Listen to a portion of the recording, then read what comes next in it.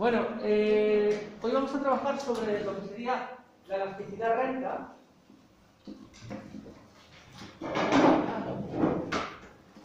Que en el fondo pues es muy parecida a la elasticidad de demanda. ¿no? Eh, lo que mide la elasticidad renta sería la variación de, la cantidad demandada cuando lo que varía es el precio, ¿no? Entonces la fórmula, pues, vamos a abajo, sería NR es igual al incremento de la cantidad demandada cuando aumenta la renta por R partido de QX, que sería como siempre la situación de equilibrio, ¿no? Entonces, eh, hay dos posibilidades, que la elasticidad renta sea mayor que cero, que son lo que son bienes normales, que son la mayor parte de ellos, y que la renta sea menor que cero, que son lo que se llaman bienes inferiores. Esto, si os recordáis, en, en la primera parte de, de, creo que fue el tema 1 o tema 2, cuando hablamos de los tipos de bienes, pues hablamos de bienes normales, que eran aquellos que cuando aumentaba la renta consumíamos más, y bienes inferiores, que eran aquellos cuando eh, aumentaba la renta consumíamos menos, ¿no? Por ejemplo, los, los les marques piratas, ¿no? O el pescado congelado, cuando mm, la gente tiene más dinero, compra más pescado fresco, que sería el bien normal, en cambio eh, el bien inferior sería el pescado congelado, ¿no? Entonces, un ejercicio, pues, mm, pueden decir, la renta de un territorio son 1.000 euros, y que ¿Perdón? bienes normales. sí, y abajo bienes inferiores. Entonces puede decirme, eh, la renta de una determinada zo- zona son 1.000 euros, y a esa renta se demandan pues 100 unidades, y se sabe que la elasticidad renta es 5, luego hablando de hay 5, sabemos que son bienes normales, ¿qué ocurriría? ¿Qué ocurriría cuando aumenta la renta 100 euros? Pues yo tengo todos los datos aquí. ¿Qué tengo que hacer? Bueno, pues la elasticidad renta ya me dice que es 5, ¿no?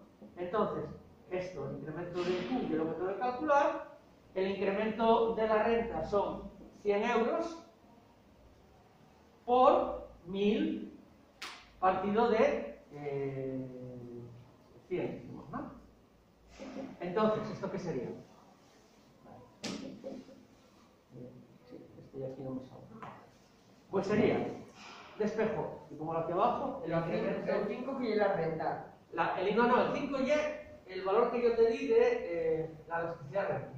Ah, vale. ¿Vale?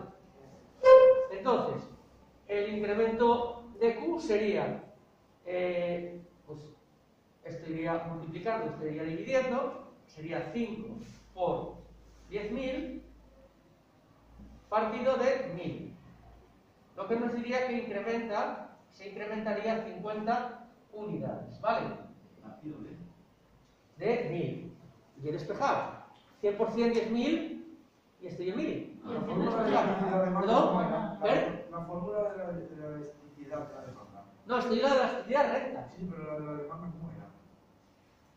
Exacto. Vimos el otro día ayer. Espera, no, no. ND igual al, incremento de Q X partido del incremento del precio por precio partido de cantidad. ¿Vale? Lo único que varía y es que donde siempre va a variar esta y esta respecto a la elasticidad que midamos, que, que- que medimos. ¿Vale? ¿De acuerdo? Y que ya es 5 por 100 y por 100, ¿no?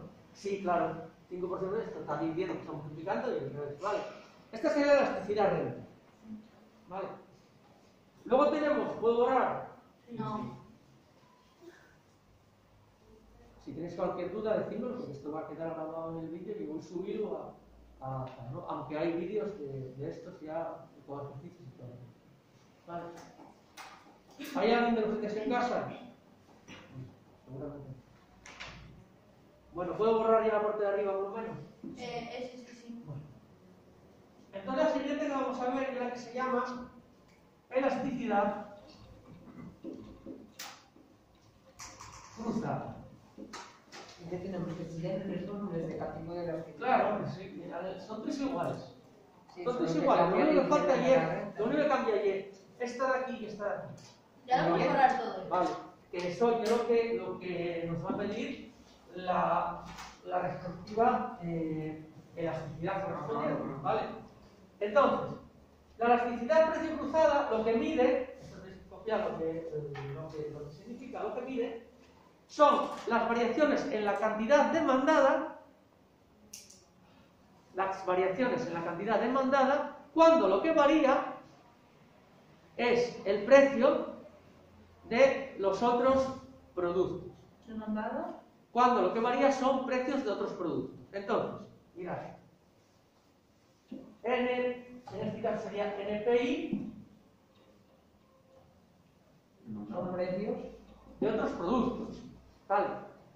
El NPI sería el incremento de la cantidad demandada cuando lo que aumenta y el precio del otro producto por el precio partido de la cantidad. ¿De acuerdo? O sea, yo lo mismo, lo que pasa que en vez de ser el precio de X o la renta, en este caso sería el precio de Y. De- precio elasticidad de precio cruzada. O sea, variables mínimas siempre. ¿no? Siempre, siempre. Vale.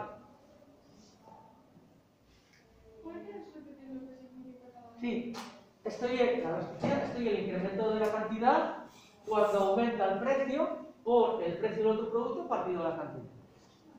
Vale. Entonces, esta elasticidad puede ser mayor que cero, son lo que se bienes. Vamos a hacerlo como el ejercicio lo veáis. Yo digo que puede ser mayor que cero y menor que cero. Entonces, antes de definirlo, vamos a verlo como un ejemplo. ¿Vale? Dejáis ahí, vamos a hacer un ejercicio para que veáis cómo y cada cosa. Yo digo, me dice, eh, si la elasticidad precio cruzada de un producto es 10. ¿Vale, no? Y se sabe que el precio del otro producto es 20 y cuando el precio del otro producto es 20 se consumen 5 unidades de X, ¿vale? ¿Qué pasará y qué tipo de bien son si el precio aumenta 5 euros? ¿Qué te hay? ¿Dónde? A ver. Si la elasticidad de 10, el precio de ir eh, 20, eh, cuando sigue 20 se consume 5. ¿Qué ocurrirá si aumenta 5 euros y que- de qué tipo de bienes? ¿no? Bueno, entonces, yo digo, 10 es igual a qué? Estamos en un- 10. a incremento de QE, que es el quiero calcular, partido de 5 por eh, 20 partido de 5. Vale, ¿no? Entonces, incremento de QD sería eh, 5 por 5, 25, 250 partido de 20. Esto sería eh, do- 12, 200 pues eh, 205, no, son me quedan 200. a ver, son 5 por 5, 25. eh, ah, no, sí, sí, 250 partido de 20 son 12,5. ¿No pillas 12,5? Sí. Vale. Aumentaría, ¿eh? Ah, vale, Claro. claro. Entonces, si y mayor que 0, ¿qué ocurriría? Si me aumenta el precio y me aumenta lo que Que se aumenta lo que produces. Pero, atiende, no, no aumenta lo que produzco y lo consumo. Si aumenta el precio de una cosa y yo consumo más de, de lo, que, de lo que estoy tratando, ¿cómo son los productos? Eh, perdón, complementarios o sustitutivos. A ver. Con- No complementario. a ver. Imagínate que viene el ron. Aumenta 5 euros el ron. ¿La Coca-Cola sube o baja la demanda? Sube. O sea, la Coca-Cola. baja. Entonces, ¿cómo sube?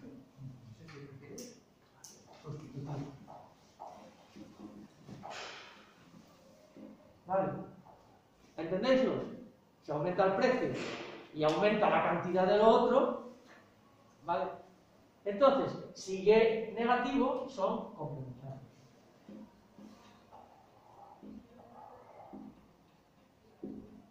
¿Vale? Pues esto sería lo de la elasticidad precio cruzado, ¿vale? Además, ya os pondré más vídeos de de, de estos eh, que tengo grabados estos años, porque no, a lo mejor es- no, no queda muy bien, pero bueno. Y ahora la última que tenemos, estos son todos los ejercicios igual, la última que tenemos y es la elasticidad de oferta. La elasticidad de oferta y exactamente igual que la de demanda, pero siempre va a ser positiva. ¿Acordáis que en la elasticidad de demanda dijimos que teníamos que trabajar con valores absolutos porque como era eh, negativa, eh, como la- al aumentar la los precios disminuir las cantidades, pues la elasticidad de oferta va a ser de la misma forma que era la de demanda, pero positiva siempre, ¿no?